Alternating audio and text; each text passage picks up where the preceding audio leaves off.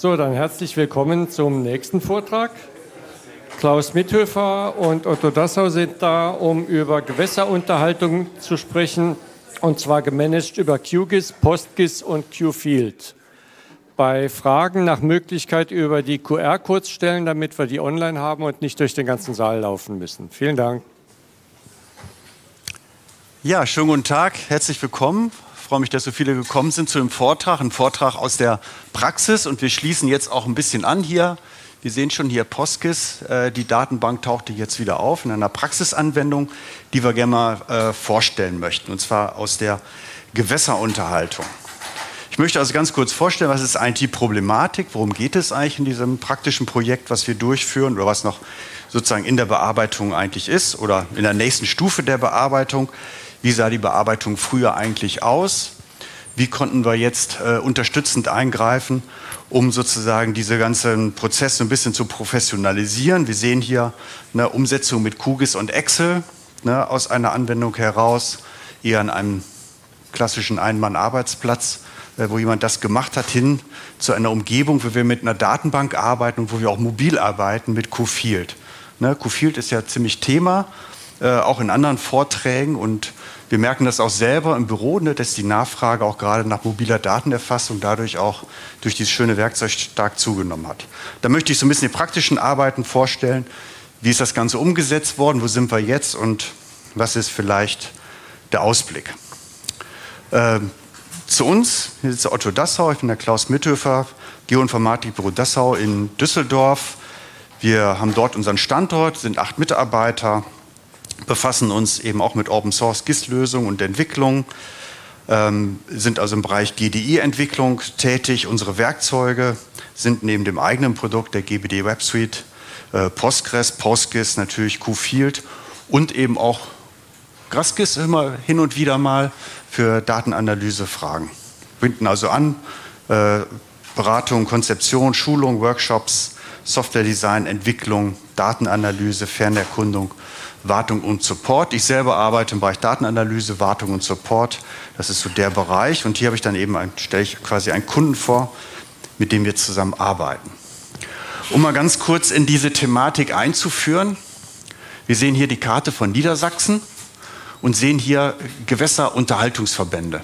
Ne, die sind, orientieren sich nicht unbedingt an den Landkreisgrenzen, sondern natürlich am Gewässereinzugsgebiet, sind unterteilt wir sehen hier ein Gebiet, das ist der Unterhaltungsverband 97, Mittlerer Hase, ne, nicht unweit von Osnabrück.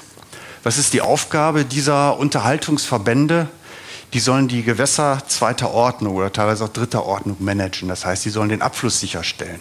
Ne, die arbeiten also meistens in den ganzen ländlichen Regionen, sind dafür zuständig. Die Organisation dieser Unterhaltungsverbände, die ist total heterogen. Das geht von großen Verbänden mit 20, 30 Mitarbeitern, mit einer eigenen Buchhaltung und allem drum und dran, bis hin zu ganz kleinen Verbänden, die ehrenamtlich arbeiten, also die Leitung zumindest, die ehrenamtlich arbeiten, äh, mit also auch einem relativ geringen Input. Das Ganze geht von Unterhaltungsverbänden, die mit gedruckten Karten arbeiten ne, im Gelände, bis hin zu Datenbanklösung und so weiter, wie wir es hier sehen. Also ziemlich breites Spektrum, aber das Interesse an, natürlich an solchen räumlichen Daten ist dann natürlich groß. Äh, warum? Weil natürlich auch die Fragen des Naturschutzes in Niedersachsen natürlich eine Rolle spielen. Ne, federführend ist hier oder beratend tätig der NLWKN, zuständig für die Gewässernetze. Das heißt, da gibt es natürlich auch Vorgaben, ne, also Insektenschutz, Vogelschutz, Naturschutzvorlagen und so weiter. Und das hat natürlich zugenommen. Das heißt, die Anforderungen auch an die Arbeit im Gelände nehmen natürlich extrem zu.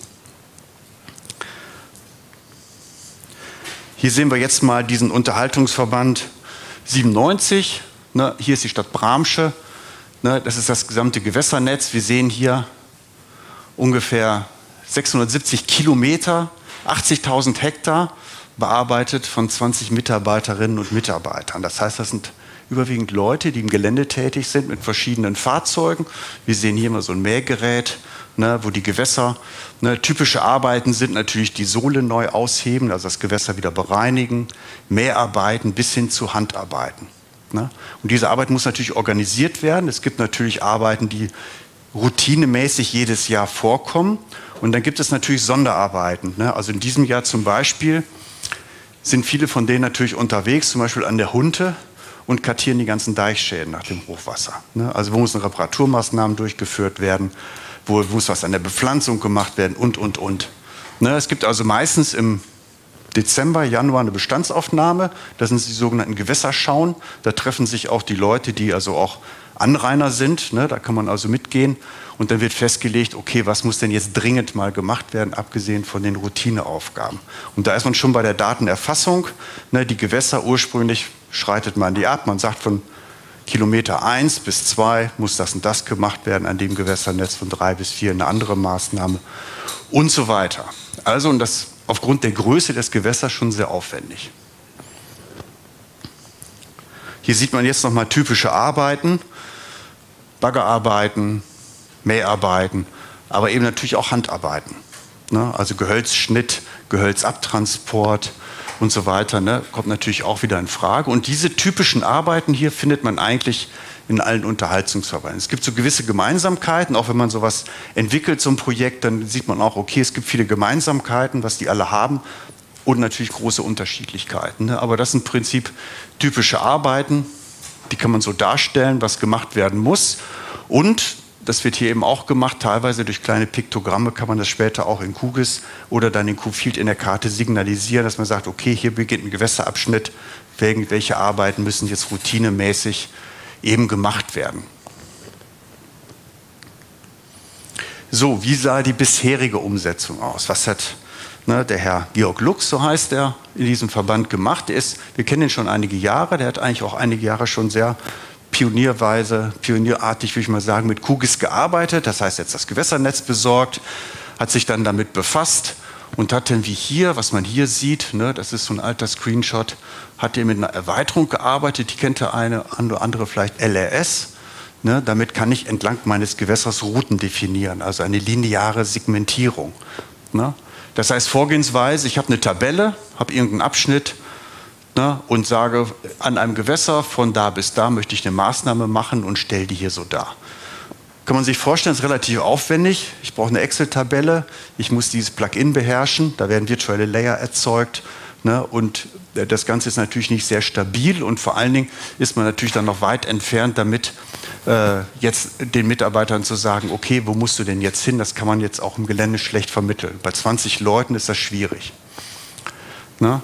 Das heißt, es ging ziemlich gut und ist, glaube ich, nach wie vor eine gute Lösung für kleine Verbände, ne? wenn man also standalone mit QGIS und QField arbeitet, sowas in der Art zu machen. Aber mit 20 Mitarbeitern sieht das dann eben natürlich schon anders aus.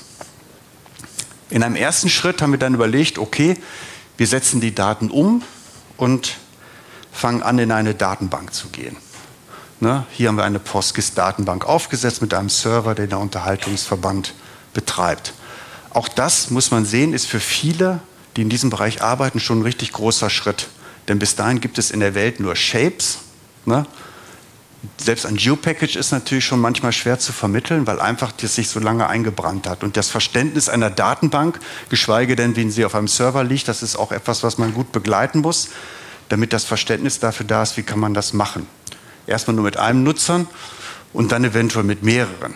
Das heißt, der erste Schritt war erstmal, die Daten sind in der Datenbank und wir können gewisse Sachen automatisieren, wie zum Beispiel diese lineare Segmentierung, dass man einfach eine Tabelle öffnet, in QGIS schreibt seine Werte rein, Gewässer auswählen, Kilometer von bis und ich bekomme die Daten visualisiert. Ne, dass wir das erstmal durch Funktionen und Trigger äh, ans Laufen gebracht haben, dass das Ganze einfacher geworden ist. Ne, hier sieht man, auch beispielsweise solche Schutzzonen oder Räumzonen. Verschiedene Themen, Themen werden natürlich immer entlang des Gewässers visualisiert. In einem nächsten Schritt haben wir dann überlegt, okay, das ist jetzt da, jetzt möchten wir damit ins Gelände gehen. Haben QField ausprobiert, haben das erstmal konfiguriert und die Arbeiten festgesteckt, was muss eigentlich gemacht werden, was sollen die Mitarbeiter eigentlich machen. Ne? Die sollen im Gelände ihren Arbeitsstand erfassen, also habe ich jetzt gemäht, ist ein gewisser Abschnitt fertig, ist er teilweise fertig. Ne? Und dann kommen natürlich noch schnell natürlich noch weitere Themen hinzu. Die Frage war dann, wie bekommen wir das Ganze jetzt hier in unser Q-Field? Denn eine Rahmenbedingung hier in diesem Gebiet ist, wir müssen offline arbeiten. Also wir können nicht, wie man das vielleicht in Dortmund oder in anderen Städten macht, online direkt aus QField in der PostGIS-Datenbank arbeiten. Wir müssen synchronisieren. Und zwar so synchronisieren, dass mehrere Arbeiter ihre Daten eben äh, zurückspielen können. Na? Das heißt, da muss man natürlich dann in QField rein. Man kennt die Sicherheitsrichtlinie von Android seit Android 9. Es ist schwierig, in die Dateiverzeichnisse reinzukommen, ist eigentlich nicht möglich. Die Lösung, die wir gefunden haben, ist im Prinzip erstmal, wir haben eine Datenbank und wir brauchen eine App. Und zwar eine kleine App, die die Daten auf die Geräte bringt, damit man erstmal umgeht, mit Kabeln irgendwelche Daten natürlich zu synchronisieren. Ne? Das wollen wir natürlich nicht machen. Besorgen also, haben eine App programmiert, und dann müssen wir natürlich definieren, okay, was soll denn jetzt eigentlich auf die Geräte drauf? Das heißt, wir haben ein, in QGIS selber ein Masterprojekt definiert. Erstmal eins, wo wir gesagt haben, das sind die Daten, die sollen so rübergebracht werden.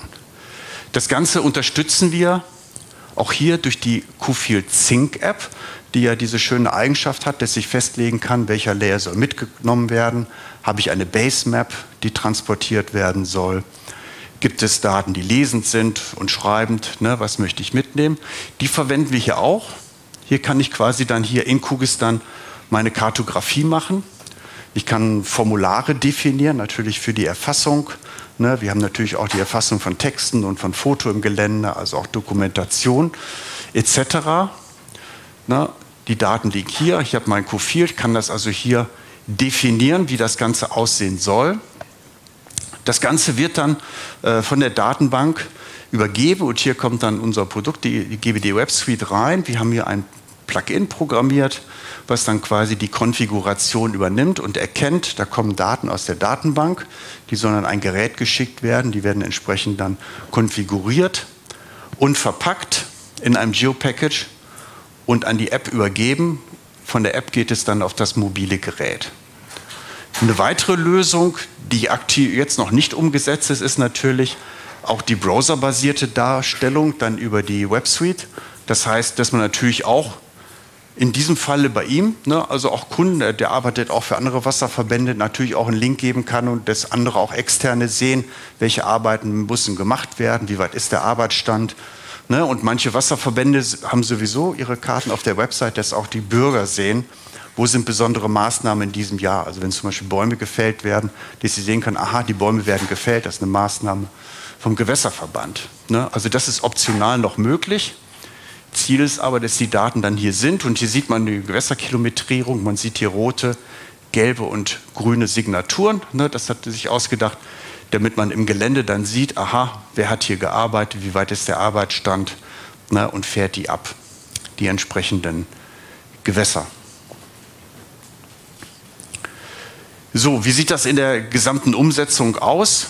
Na, das bedeutet eben von dem Datenaustausch her, wenn wir uns das mal hier anschauen, ups, da, wir haben hier unsere Datenbank, wir haben ein Masterprojekt. Ne, Im Prinzip diese Masterprojekte, wir sind erstmal von einem Projekt ausgegangen. Im Prinzip läuft der Zugang aber auch über eine Geräte-ID. Das heißt, man könnte auch sagen, man hat eine Geräte-ID, die bekommt Masterprojekt A. Jemand anders macht vielleicht nur ganz bestimmte Arbeiten, hat Masterprojekt B. Ne? Wir haben unsere Konfigurationstabellen, unsere Daten drin, auch die Bilder später, die Fotos werden hier abgelegt. Das heißt, wir bekommen dann eine Anfrage, das ist eine SQL-Anfrage, die Daten werden eben entsprechend der Konfiguration äh, genommen, werden an die Sync-App dann hier übergeben. Datenformat ist hier QGS und ein Geo-Package. Und von dort dann hier spielt eben auch QField natürlich noch eine Rolle an das mobile Gerät dann hier gesendet. Ne? Das ist so die Oberfläche. Das heißt, ich habe dann hier eine Schaltfläche, Daten laden. Dann wird entsprechend dann eine Anfrage gestellt. Die Daten werden runtergeladen äh, auf das Gerät.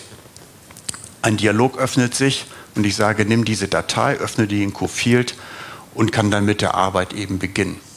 Na? Wir sehen hier eine Schaltfläche, das ist für die Konfiguration. Da kann ich eben definieren, wo ist eigentlich der Server äh, wo, die ganze, wo die Datenbank liegt, wo ist der Datenbankzugriff äh, und kann dann hier im Cache auch die ganzen Dateien löschen, auch die Hintergrunddaten löschen, wenn ich wieder quasi wieder bei Null anfangen möchte. Umgekehrt ne, nehme ich diese Sync-App auch und gehe aus QField heraus in meinen Projektordner. Ne, da gibt es diese Funktion, die Dateien, den Ordner an eine zu senden an. Ne? Das ist quasi der Weg ja von QField aus den importierten Projekten wieder heraus. Das nutzen wir auch, um dann diese Projektdatei wiederum vom mobilen Gerät an die Sync-App zu senden, die es dann wiederum an die Datenbank liefert. Ne? Und in, der, in dem QField-Plugin und in der Datenbank ist dann eben entsprechend die Logik hinterlegt, wie die Daten abgelegt werden.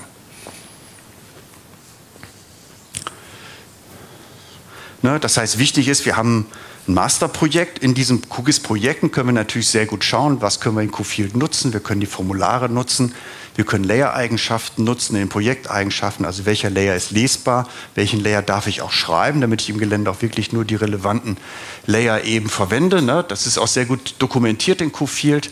Wir können natürlich Attribute netzen, wir können Beziehungen zwischen den Layern auch aus der Datenbank gleich nutzen und die übertragen an QField mit Wertebereichen arbeiten. Ne? Also hier bietet QGIS natürlich und QField in Zusammenspiel natürlich eine ideale Möglichkeit, das entsprechend zu konfigurieren. Ne? Die Sync-App hilft uns dabei, eben einzelne Layer noch zu konfigurieren, also eventuell Layer auszuschließen, die man nicht braucht. Ne, Hintergrunddaten herunterzuladen, wenn ich eben offline beispielsweise Luftbilder noch brauche ne, oder eine Karte ne, und habe die Advanced Settings, dass ich auch Regionen festlegen kann, welche Region genau exportiert werden soll. Ne. Wir sehen das hier einmal in QGIS. Ne, Formulare gestalte ich hier. Und hier sehen wir einen Ausschnitt aus der, aus der QField Sync App. Hier zum Beispiel die Base Map, die ich definieren kann. Und hier kann ich für alle Layer ja festlegen, äh, wie die mitgenommen werden sollen, quasi für die Geländearbeit. Ne, also was nutzen wir? Ne, wir haben die Integration von natürlich in der Datenbank unsere ganzen Basisdaten, also erstmal das Gewässernetz, die Kilometrierung. Dazu kommen dann noch alle möglichen Datensätze, die aus dem Gewässernetz abgeleitet werden, also Schutzzonen, Verbotszonen. Ne, da kann man auch mit Datumsfunktionen arbeiten, wenn beispielsweise in einem bestimmten Gewässerbereich Brutvögel sind, dass ich sage, zeigt mir die Schutzzone nur in dem Datumsbereich, ansonsten werden die ausgeblendet. Ne, hier kann man viel mit Funktionen arbeiten. Hier drin Masterprojekt, aktuell eins, potenziell sind mehrere möglich. Das die Konfiguration läuft dann über eine Geräte-ID, das heißt, die Sync-App sieht nach, wer fragt an, welche Geräte-ID und würde entsprechend dann die über die QGIS-Projekte ähm, das äh, festlegen. Ne? Wir haben natürlich Beziehungen, Basisdaten, Referenztabellen, natürlich alles für die Erstellung von den äh, Funktionen in der Datenbank selber natürlich zahlreiche automatisierte Funktionen in Trigger, also füge ich Datensätze hinzu, nehme ich die raus, weil ich auch zahlreiche Tabellen zur Statuserfassung oder zur Zeiterfassung natürlich daran bündel. Was sich als letztes eigentlich noch herausgestellt äh, hat, natürlich, ähm, ist, dass wir natürlich ein ganzes Berichtswesen noch hinten dran gehangen haben. Ne? Das heißt, wenn ich natürlich auch Arbeitszeiten im Gelände erfasse, Ne, für die Abschnitte ist das natürlich wichtig für die Buchhaltung. Das heißt, im PostGIS können wir dann Views erstellen, die Daten sammeln, aggregieren.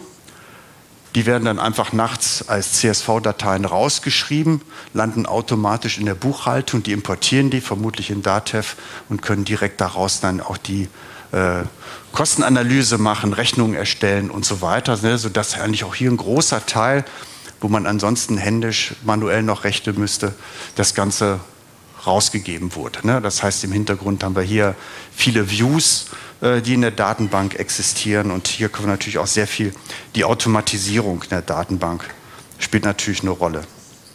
So, ganz kurz, wie sieht das noch aus?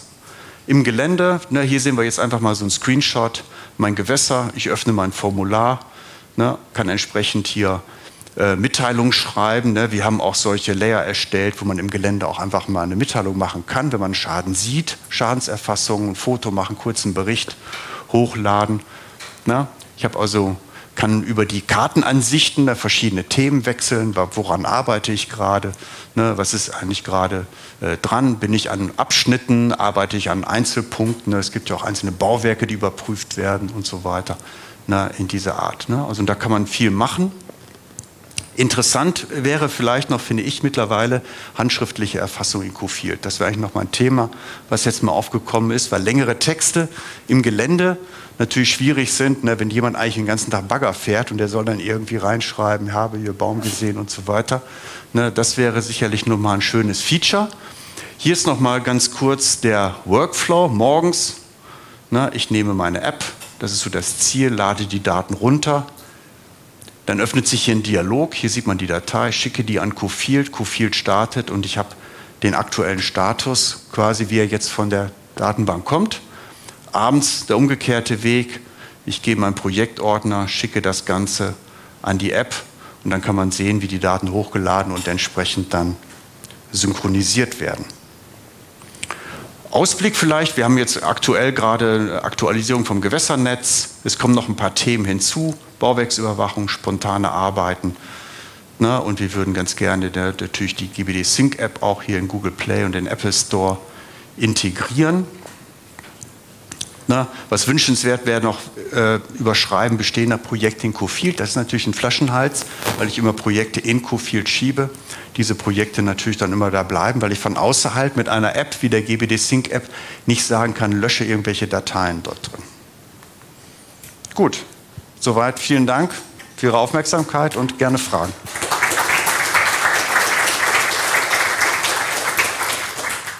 Vielen Dank für den interessanten Vortrag. Fangen wir mit den Fragen an. Ist das GWS Qfield Plugin sowie die GDB Sync App Open Source bzw. für alle verwendbar? Das ist Open Source, ja. Könnte die GBD Sync App durch Qfield Cloud ersetzt werden? Was ist der Unterschied? Naja, die Sync-App dient ja als Schnittstelle zwischen der Datenbank und QField. Das heißt, die Frage ist immer, die wir lösen müssen, wenn wir offline arbeiten, wie bekomme ich die Daten dorthin? Ne? Ich kann natürlich die QField Cloud, ist natürlich eine Lösung ne, dort drin. Habe ich jetzt eine externe Datenbank, ist natürlich die Frage, wie bekomme ich die Daten elegant auf mein mobiles Gerät. Und das ist die Aufgabe dieser Sync-App. Quasi die Daten hinzuliefern und entsprechend von dem Gerät auch wieder zurückzuschicken an den Server. Kann das Tool von jedem x-beliebigen Gewässerverband eins zu eins zügig mit wenigen Anpassungen übernommen werden?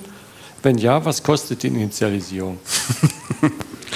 Naja, das ist, äh, wie ich sagte, die äh, Unterhaltungsverbände haben recht ähnliche Arbeiten, aber, auch, aber arbeiten auch unterschiedlich. Und das hängt auch mit der Größe zusammen. Ne? Im Prinzip kann die Sync-App so verwendet werden, ja. Aber der Kern ist natürlich im Hintergrund, dass man schaut, äh, wie sind die Arbeitsweisen, welche Themen möchten die gerne im Gelände bearbeiten. Ne? Also wie arbeiten die? Da sind die schon ein bisschen unterschiedlich. Und gibt es so spezielle Sachen? Also beispielsweise, ich möchte gerne im Gelände auch Daten erfassen, wie Punktdaten mit Schäden beispielsweise, mit Fotos. Das muss man natürlich entsprechend dann konfigurieren. Wie werden Kollisionen aufgelöst, wenn mehrere Personen Daten zurückstellen?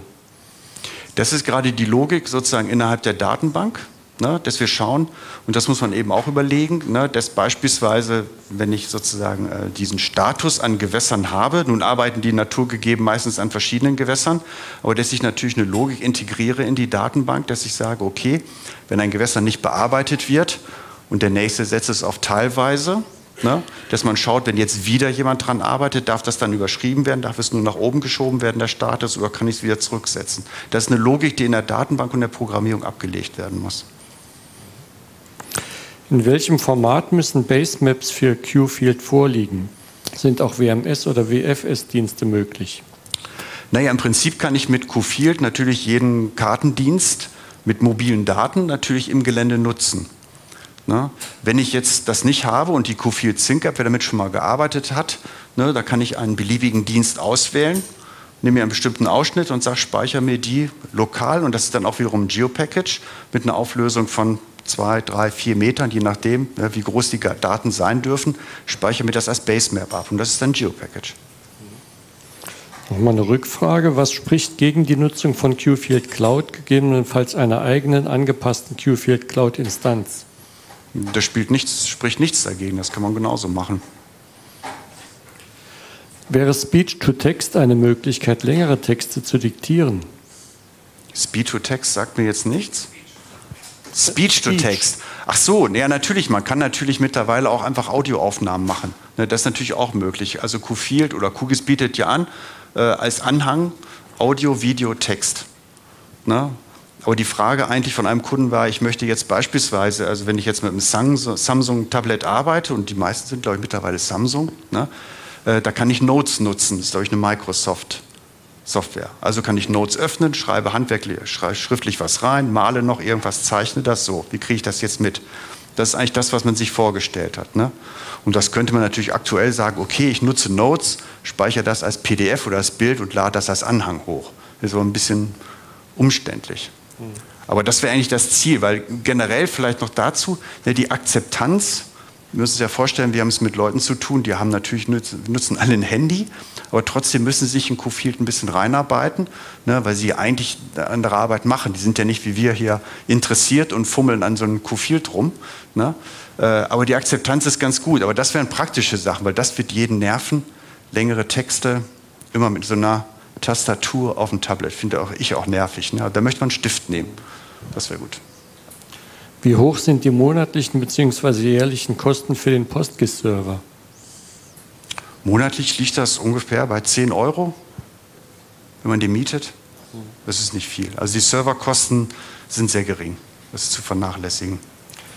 Werden die EXIF-Informationen beim Einlesen der Fotos in die Datenbank ausgelesen oder wird für jedes Bild eine Punktgeometrie erstellt? Ähm, die Bilder werden als Anhang äh, exportiert und werden als Blob in der Datenbank abgelegt mit einem Punkt. Also ich erfasse einen Punkt im Gelände und das Attribut ist dann ein Blob. Wozu dienen die Konfigurationstabellen in der Datenbank? Konfigurationstabellen, ich weiß jetzt nicht genau, was gemeint ist. Kann ich jetzt so nichts sagen. Wie werden die Daten versioniert? Wird hier ein spezielles Package verwendet? Ähm, die Datenversionierung läuft meistens, dass wir Mastertabellen haben, wo die Daten äh, spezifisch abgelegt werden äh, nach Gerät, Datum und so weiter, sodass ich auch immer wieder ältere Zustände wiederherstellen kann. Mhm. Einzugsgebiete von Gewässern können teils sehr große Gebiete werden. Wie haben Sie das Problem mit großen Basiskarten, die offline-fähig sind, gelöst? Also die eine Möglichkeit ist die, das Ganze in Teilgebiete äh, zu packen. Aber grundsätzlich war es so, dass natürlich dadurch, dass die Gebiete so groß sind, dass natürlich erstmal klar war, es gibt Daten wie Basemaps, die eigentlich auf dem Gerät bleiben sollen. Also die will ich nicht immer hoch und runter laden. Das heißt, wir haben das so konfiguriert, dass wenn ich also quasi neu starte, dann wird angefragt, der stellt fest, in dem, in, der, in dem Ordner der Sync-App ist keine Basemap da, also wird die gesamte Basemap runtergeladen und bleibt auf dem Gerät. Und erst, wenn ich die wieder lösche, wird wieder eine neue Basemap runtergeladen. Das heißt, die synchronisiere ich nicht hinterher. Das Einzige, was synchronisiert wird, sind die Vektordaten, die äh, im Projekt sind, die relevant sind für die Datenerfassung.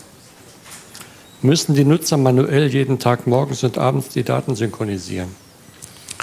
Ähm, ja, ne, sie müssen morgens die runterladen und am Abend wieder synchronisieren. Ja, das ist das Ziel.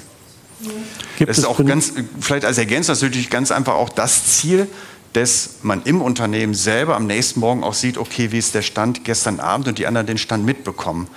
Ähm, ne, und es gibt auch durchaus Unternehmen, wo es dann auch so ein Screen gibt, ne, wo man aktuell immer sehen kann, wie weit sind die aktuellen Arbeiten. Also es wäre nicht sinnvoll, montags anzufangen und freitags hochzuladen. Hm. Äh, gibt es benutzerspezifische Ansichten der Daten in der mobilen Version? Die Ansichten sind in dem Masterprojekt definiert. Das heißt, sie sind so definiert und abgestimmt, dass sie für die praktische Nutzung im Gelände sinnvoll sind. Wir haben weitere Projekte natürlich angelegt, die dafür da sind, Statistiken einzusehen oder den Arbeitsstand einzusehen, spezielle Layer, um zu sehen, wo sind Fotos gemacht worden, äh, damit ich da auch sehe, ich habe meinetwegen 20 Punkte, bei dreien ist ein Foto, welche sind das, kann mir das Bild anschauen. Als letzte Frage dann, gibt es Standards für die Erfassung von Gewässerdaten und wie sind diese in der Software umgesetzt? Na, die Standards, äh, Standards eigentlich nicht, das kann man nicht sagen. Also die Gewässernetzdaten kommen in der Regel in Niedersachsen vom NLWK ein. Da kann man sich also quasi diese Gewässerdaten beziehen und auch die naturschutzfachlichen Daten kommen von da. Also das ist quasi der, der Grundsatz. Aber für die Erfassung selber, das ist natürlich heterogen wie Wasserunterhaltungsverbände das machen. Die müssen also nach Satzungen das gewährleisten, dass der Abfluss gegeben ist. Wie sie das machen, ist ihre Sache. Aber die sind, da die sie meisten auch kennen, es gibt auch Arbeitskreise in diesem Bereich, ähnlich. Dann vielen Dank für den Vortrag. Vielen Dank Danke für die auch. Fragen.